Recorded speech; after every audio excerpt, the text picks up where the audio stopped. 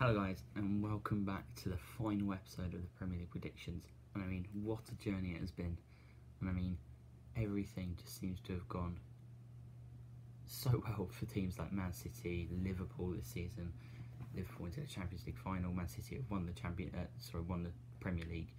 And if they win today they could be the first team I believe in Premier League history to reach three figures. Because if they win today they'd get to 100 points. I mean that's an outstanding fate in itself.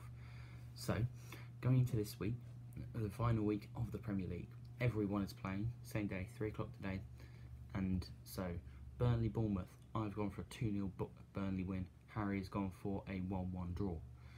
Crystal Palace, West Brom, I've gone for a 2 0 Crystal Palace win, Harry's gone 2 1 to West Brom, even though they're relegated already. Huddersfield Arsenal, I've gone 2 0 to Arsenal, Harry's gone 2 1 to Arsenal. Liverpool Bournemouth. I've gone 3 1 to Liverpool. Harry's gone 2 0 to Liverpool. The interesting fact there Liverpool and Chelsea separated by two points. If Chelsea better, so Chelsea need to win, Liverpool need to lose for Chelsea to be in Champions League.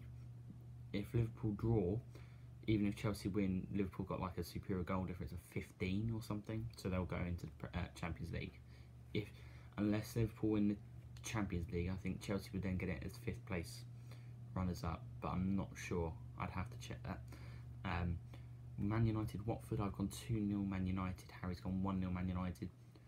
Uh, Newcastle, Chelsea, I've, we've both gone 2 1 to Chelsea. Southampton, Man City, I've gone for a 4 0 Man City win. Harry's gone 3 0 Man City. The reason I go 4 0 Man City is Southampton and Swansea. Southampton are three points ahead of Swansea, the goal difference being think it was eight. And so I've gone 4 0 Man City to reduce that deficit by a mile.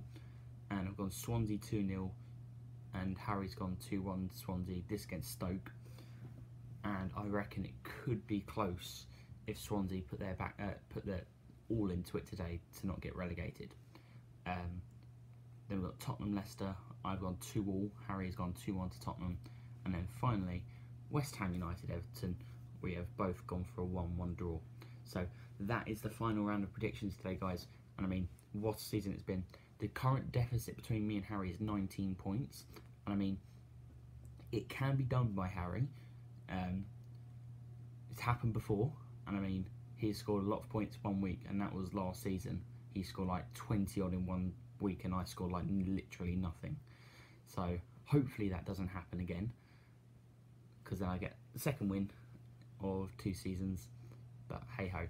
Um, so yeah, until uh, I will be doing a reaction video to just a few stats throughout the season um, next week, and so everything can be seen after that. But I must say thank you for watching this series again. It's been great fun doing it, and I think Harry's had great fun putting his predictions through. So thank you guys for watching, and subscribe if you're new. Click the like button comment for new any series you want to see because I mean that's it until August. So I need to think of something I'll be doing. I'll probably do a few Fortnite videos probably getting back into GTA and FIFA. I've got a few team of season packs I'm going to upload because I mean my luck my luck was pretty good I must say and I'll show you some I'll show you a game that I played straight off the back of packing packing ah there you go look look at that I've already released I've packed a team of season but hey ho, until the video, I'll see you guys next time.